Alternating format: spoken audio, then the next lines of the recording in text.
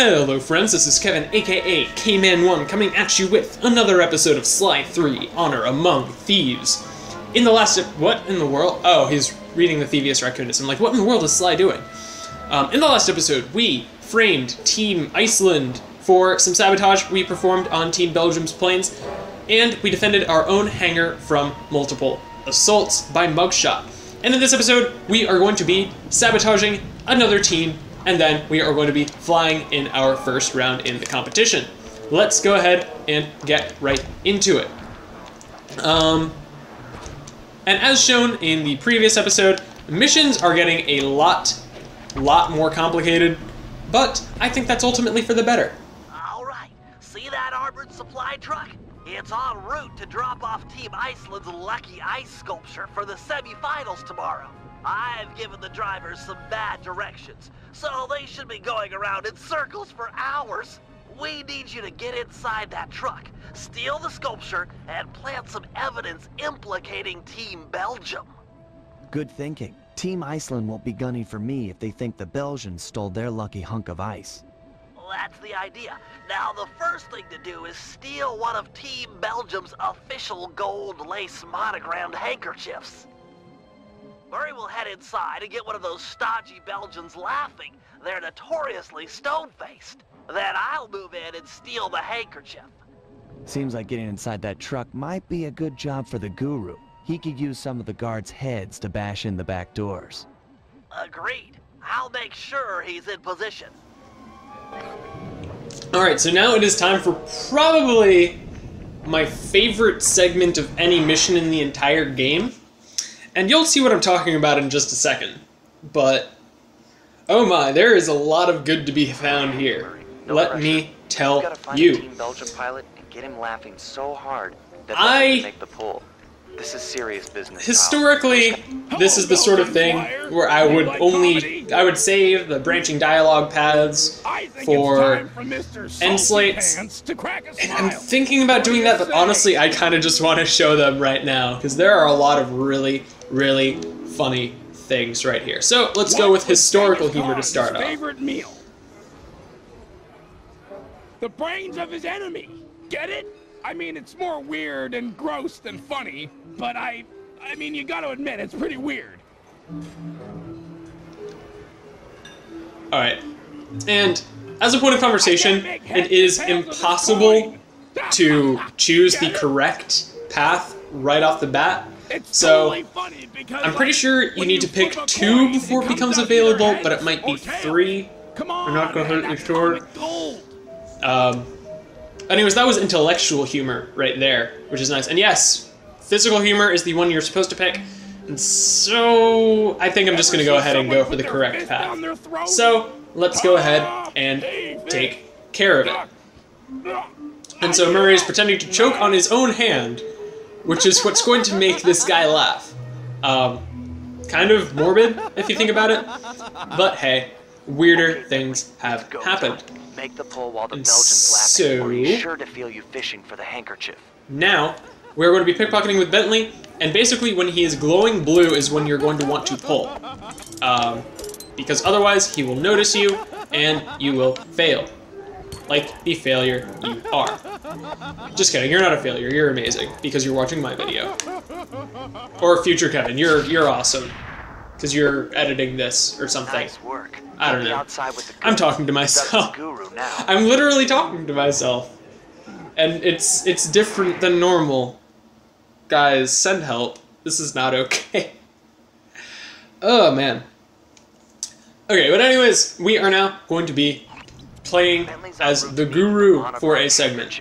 But we'll never be able to swipe the ice sculpture unless we can get into that armored truck. I agree. The back door should be its weak spot. Yeah, I'm sure the guards around here won't mind too much if you break the door down with their heads. Yeah. Bentley set up a waypoint on the truck. Should be handy. The thing's moving pretty fast. I think the best part about Guru, in my opinion, is that even when he's in like Binocucom conversations, he doesn't have any subtitles, so you literally never know exactly what he's saying. which is obviously kind of the running joke with the character. But and that okay, that guy died, but it's okay. Um, and something I want to go ahead and point out that I haven't explicitly mentioned yet um, is characters besides the main three. It is impossible to actually like select them and play them in the field whenever you want. It's kind of unfortunate if you ask me, but I understand from a game design standpoint that they don't want you playing as the fun characters literally whenever you want. Fortunately, with the mission replay system, it's less of a concern because you can just kind of replay missions if you want to play as a certain character. Um, but yeah, anyways, ramming to this, basically, at first, it's just going to be straightforward. You just got to run at the guy. Um, but then he's going to start throwing down these bear traps, and so if you run into those, then you will have a bad time. But beyond that, you just got to find a guard and chase him down. And I was hoping there would be one nearby, but it looks like I'm going to have to branch out just a tiny little bit in order to find one. So let's go ahead and see if we can take care of that. Mr. Piggly Wiggly is going to serve as an excellent final assault pig. I was going to say assault vehicle, but he's a pig man, not a car. I don't know. I'm talking to myself. This is this is an established mechanic of Let's Play. Um, but now we are going to be playing as Sly in just a second. Once Bentley hands that over. Okay, Sly, your turn. You'll have to sprint hard to catch up. But something inside Alright, taking a sip of that drink. be easy. Because my throat is starting to get a little bit tired, but it is not ultimately a huge problem. Anyways, now we're going to be chasing down the truck in hopes of being able to get up on its back. And it is being needlessly complicated in its pathing. And let's see if we can make it from here. We can. All right. And so, manual lockpick is manual. So, let's go ahead and twist it back. And I messed up.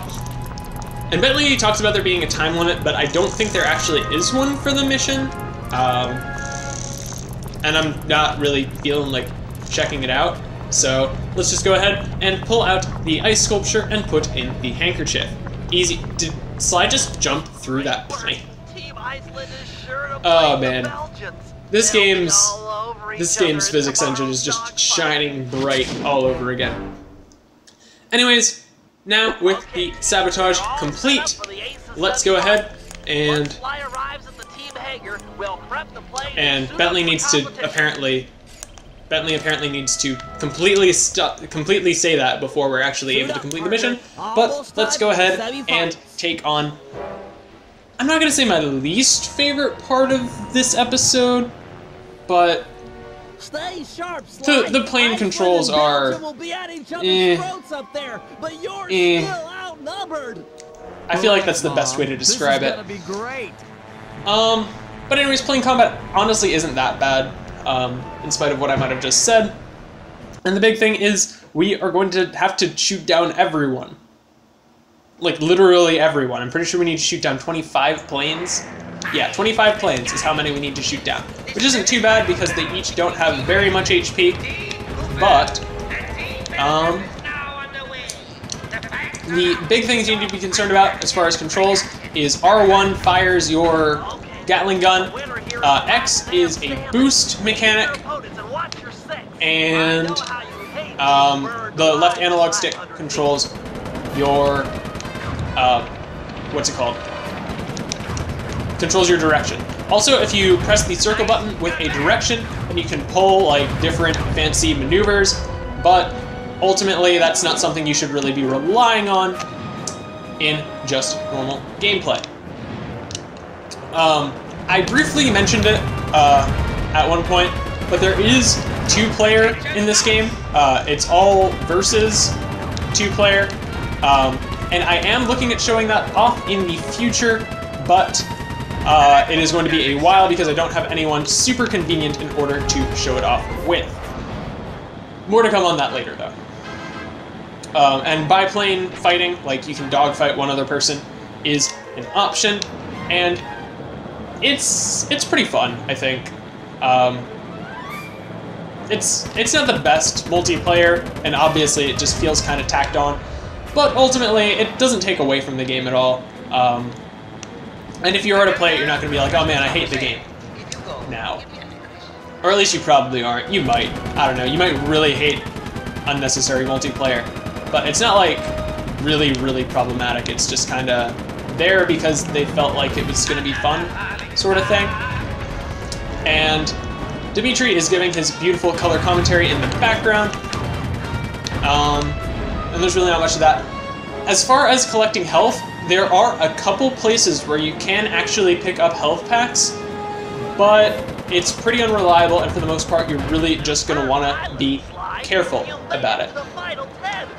So now we are on to the final 10, as Bentley just said, and fun fact, if two planes run into each other, um, even if you fired at them, it doesn't count as you taking them down, because, you know, there's an infinite number of planes until you shoot down 25. It's kind of silly, I know, but it, there's not much you can really do about it. Um, also, something worth noting is that uh, there is a limit to how much boost you have. So if you use it too much, then you will run out of gas. But it just takes you a little bit to recharge. It's not like it's gone forever or anything like that. Fortunately, that is not the case because chasing down some of these planes would be quite a chore without it, because I feel like you go slightly slower than them naturally, um, and if you're boosting, then you go appreciably faster than them. But I'm not completely sure on the relative speeds, and we are down to the last four planes that we need to take down. I'm it's like I don't want to make it seem like the flying is really that terrible, but there's just really not much to talk about it, and having you take down 25 planes just takes so ridiculously long. Uh, but we are down to the last two that we need to take down at this point, and so we just gotta scope them out. And especially once it's down to like the last few, it can be a little bit hard to find them. Um, but if you just keep on flying around in circles like this, then you probably will eventually run into them. And now we have our eyes on one of them, and we just gotta take that guy down. And we are down to the last guy, and I should probably stop shooting so that I don't waste my ammunition for when I finally do find the guy. And he's probably hiding in one of these clouds, like a jerk.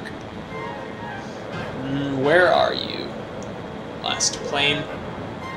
Where? Like, alright. He might be tailing me. Oh, there he is. That is one way you can take advantage of your various maneuvers, but, and we take him down. Easy as that.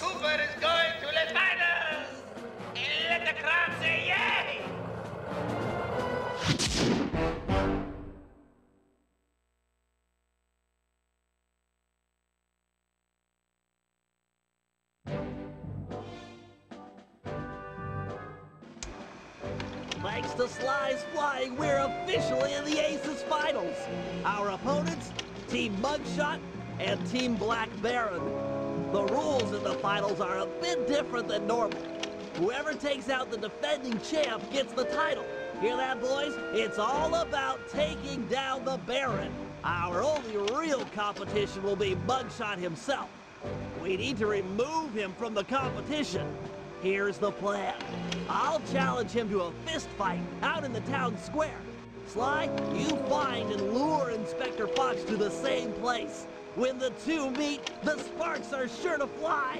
With some luck, the big guy will get carted off to jail, and we'll have clear skies for the finals. However, the Baron won't be so easy to deal with. He commands an enormous team of flyers and has been known to bring in a squad of blimp gunships when things look grim. The answer to our problem isn't obvious, although it is potent. Behold, Lupus Gigantormus. I'll drug the beast so that the Guru will be able to ride it and take out some of the local guards, who also serve as the Baron's pilots. Obviously, the fewer enemy pilots Sly has to deal with in the finals, the better. Next, I'll hack into the aircraft control tower. If successful, I'll be able to intercept any messages the Baron might send to his gunships. All right, team, we've got all night to prepare. If we take this thing, it'll mean more than a trophy. Penelope is sure to join our gang. After her stellar work defending our hangar, I'm sure we'd all agree that she's a prime recruit.